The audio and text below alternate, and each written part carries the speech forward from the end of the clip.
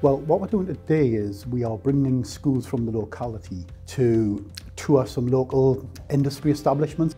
The aims of today are twofold really. One is to ensure that parents as well as their children understand some of the new opportunities across the northeast, particularly in the energy sector where these jobs weren't necessarily here five years ago.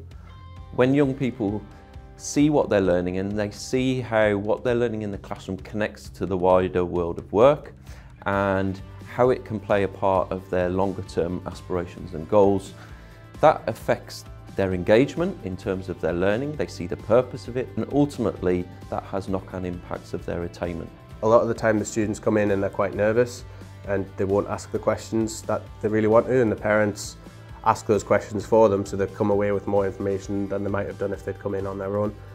So today we're seeing and done quite a lot. Um, interesting to see all the ventures that's going on in the northeast and exciting time for the youngs that's coming through. Yeah, I think it's a lot easier when we go to the places because you can have a look exactly what they're doing and the environment that they work in and so it's preparing us for when or if I do go to that job.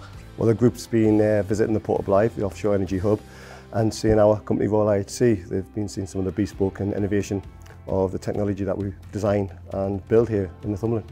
The roles that people could work in could be anything from mechanical design, hydraulic design, to electrical, to fibre optics, to you name it. It was interesting to see all of the technology and equipment because it gives you an idea of what kind of job you would want to do.